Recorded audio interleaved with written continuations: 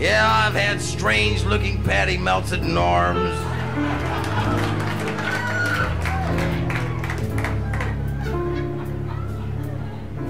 I've had dangerous veal cutlets at the Copper Penny.